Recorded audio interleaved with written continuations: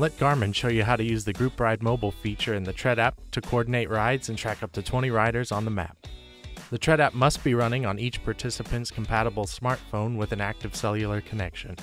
A compatible Garmin Automotive device is not required, but compatible Garmin Automotive devices can join a mobile group ride if they are connected to the Tread app on a compatible smartphone via Bluetooth. Your location will be shared with other group members when participating in a mobile group ride. You can pause location sharing or leave the group at any time. First, we will show you how to create a group ride. To begin, open the Tread app and select the menu icon in the top left. Then, select Group Ride, followed by Create a Group Ride. Other riders can join the ride by using the ride ID or the QR code. You can also copy or share the ride link. Select Return to Map to view the group ride and any riders who have joined. If you want to stop sharing your location, select the ride ID at the top.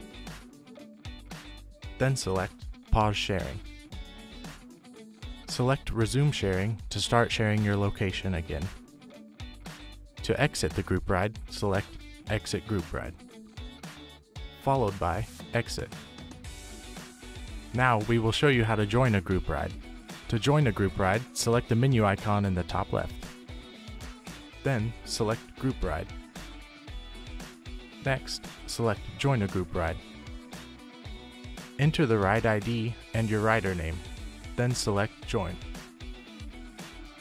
Select Return to Map to view the group ride and any riders who have joined.